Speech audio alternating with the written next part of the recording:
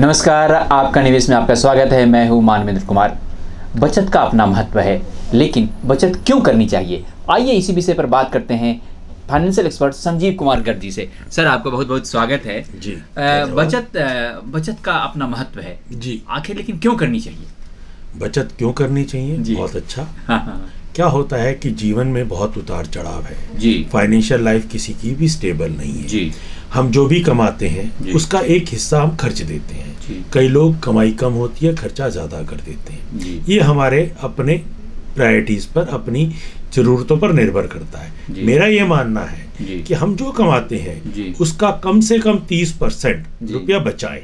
जी क्यों बचाएँ? उसका कारण है कि अगर आप वो बचाएँगे नहीं तो जीवन में आने वाले समय में जो आपके खर्चे हैं जिसके आपके अपने गोल्स होंगे आपने बच्चों को पढ़ाना है उनकी शादी करनी है। और कितने सवाल हैं मैं आपसे कुछ सवाल पूछता हूँ। क्या आप चाहते हैं कि पचास की उम्र में रिटायर हो जाए?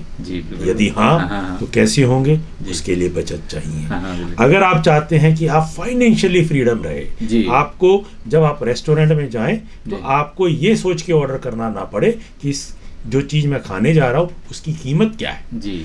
अगर आप ये चाहते हैं तो उसके लिए भी आपको बचत करनी पड़ेगी। अगर आप चाहते हैं कि आपके बच्चों की उच्च शिक्षा आराम से हो जाए उसके लिए आपको उनके लिए एजुकेशन लोन पर निर्भर ना होना पड़े पड़े। तो भी आपको बचत करनी है। अगर आप चाहते हैं कि क्रेडिट कार्ड के चुंगल में ना फंसे आज हमने खर्चा कर दिया और हमारी कमाई का आने वाली कमाई का एक बड़ा हिस्सा उनको उनके ब्याज की उनकी पेनल्टी देने में ना चला जाए तो हमें बचत करनी पड़ेगी। अगर हम ये चाहते हैं कि हमारे अपना खुद का मकान हो और वो भी बिना किश्तों पर तो वो कैसे होगा उसके लिए भी बचत करनी पड़ेगी। अब क्या होता है कि जीवन के अंदर कुछ खर्चे ऐसे हैं जो आपको पता नहीं चलते। जी अप्रत्याशित खर्चे होते हैं। अप्रत्याशित खर्चे होते हैं बिल्कुल सही कहा कि कोई हारी बीमारी है आपके संबंधियों को किसी वक्त कोई इमरजेंसी आ गई तो क्या करेंगे? कहाँ से लाएँगे? तो आपके पास विकल्प क्या होते हैं? एक अगर आपने वो पैसे कुछ जोड़ रखे हैं तो आपके लिए बहुत आराम हो जाएगा। बचत आपको क्या देती है? बचत आपको एक मानसिक शांति देती है कि किसी भी कोई भी फाइनेंशियल इमरजेंसी हो कोई भी आपकी ज़रूरत है वो आराम से पूरी हो जाए। और जो आपको पता है हम लोग जब बच्चे होते थे तो छोटे छोटे होते थे तो हमारे घर में सबसे पहले क्या आता था? गुल्लक। गुल्लक का तो जी। उस गुल्लक का क्या महत्व होता था कि हमें एक आदत डाली जाती थी कि हम थोड़ा थोड़ा रुपया उसमें जोड़ें। जोड़ते रहते थे। तो क्या होता था?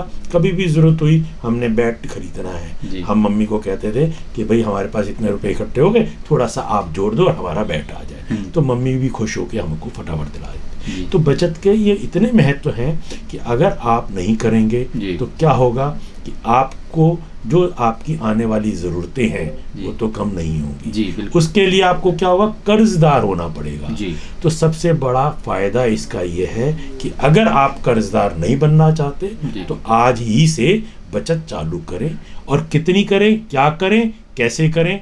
उसके लिए आप चाहे तो हमसे मिलें। हम आपको बताएँगे कि सिर्फ़ एक हज़ार रुपये महीने की छोटी बचत से आप अपने आप को अपने बच्चों को करोड़पति कैसे बना सकते हैं? खासकर आप जब अर्निंग कम है ऐसे में बचत का कैसे करेंगे? बचत तो देखो आपके मन का एक हिस्सा है जी। उससे अपने आप आएगा। कमाई कितनी भी हो बचत करना कोई मुश्किल काम नहीं है। कुछ खर्चे हम अपने जीवन में ऐसा करते हैं कि जो हम अवॉइड कर सकते हैं जिनको हम डिले कर सकते हैं।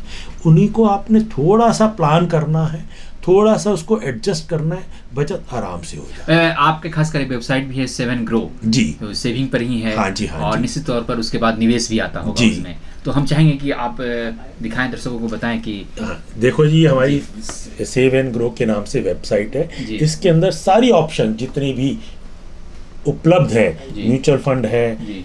इंश्योरेंस है टैक्स प्लानिंग है फिक्स्ड इनकम है सारी चीज़ें इसमें अवेलेबल हैं। जी, जी। आप इसमें देख सकते हैं और उससे पहले अगर हम चाहें तो हम बैठ के भी आपकी अपनी ज़रूरतों के हिसाब से कितनी बचत करनी है उस बचत से क्या फ़ायदा होगा आप कौन कौन सी ज़रूरतों को पूरा कर सकते हैं उनके हिसाब से आपको कितना पैसा जोड़ना है वो हम सब बात कर सकते हैं।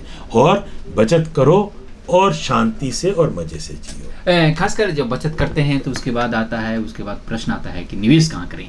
जी बहुत बढ़िया। देखो अगेन मैं इसमें आपको एक पुरानी बात बताऊँगा कि बचत और निवेश नॉर्मली हम सब समझते हैं कि एक ही चीज़ है। जी। बिल्कुल पहले एक ही चीज़ होती थी।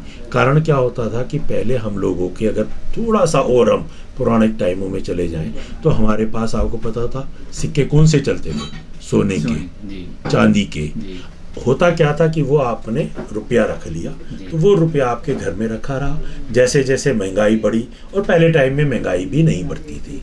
नॉर्मली लाइफ लोगों की एक सी चलती थी। लेकिन आज के दिन ये महँगाई जब से बढ़नी चालू हुई उसकी वजह से जो हमारा रुपया है उसकी कीमत धीरे धीरे कम हो जाती है। तो बचत करना जितना ज़रूरी है। उस बचत को अच्छे से रखना भी बहुत ज़रूरी है। वरना हम अपने पैसे को घटा देते हैं। उसके लिए क्या करना चाहिए? कहाँ कौन कौन से विकल्प जी। हम चुन सकते हैं वो हम आपको बता सकते हैं। वो हमारा एक फाइनेंशियल प्लानिंग का पार्ट होता है जी।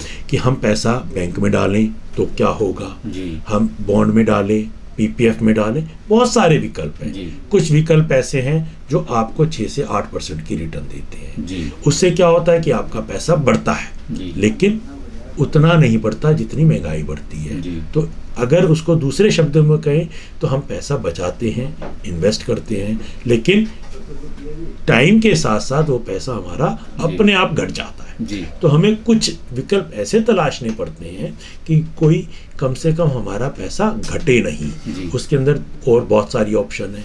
वो अगेन सबके लिए जैसे होता है ना कि हर दवाई हर एक के लिए नहीं होती। चाहे मर्ज एक ही हो ऐसे ही हर सोल्यूशन एक आदमी के लिए नहीं होता है। जी।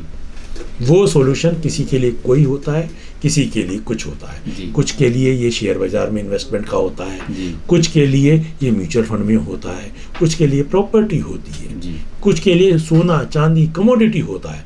कुछ लोग फॉरेक्स ट्रेड करते हैं कुछ लोग जैसे पुराने हैं ना तरीके कमेटियाँ चला ली इधर कर दी तो उससे बचत करते हैं। सबके अपने अपने तरीके हैं। लेकिन जिस तरीके से आज चेंज आ रहा है सारी चीज़ें बदल रही हैं तो नए नए तरीके आ रहे हैं। उसके अंदर क्या करना है कैसे करना है आप कितना रिस्क ले सकते हो कितनी ज़रूरत है कितने लंबे के लिए आपने इन्वेस्ट करना है आप क्या चाहते हो उसके हिसाब से आप अपनी पसंद से जो आपको ज़रूरत है उसके हिसाब से कोई भी निवेश- का फॉर्मूला चुन सकते हैं। बिल्कुल। जी बहुत बहुत धन्यवाद संजीव कुमार गर्ग जी आपने बेहतर जानकारी दी। जी धन्यवाद। तो ये थे संजीव कुमार गर्जो बता रहे थे, खासकर बचत का अपना महत्व है। अगर आप आज बचत करते हैं तो निश्चित तौर पर सुरक्षित भविष्य आपका और भी बेहतर होगा। कैमरा पर्सन सुभाष गत मानवेंद्र, नमस्कार।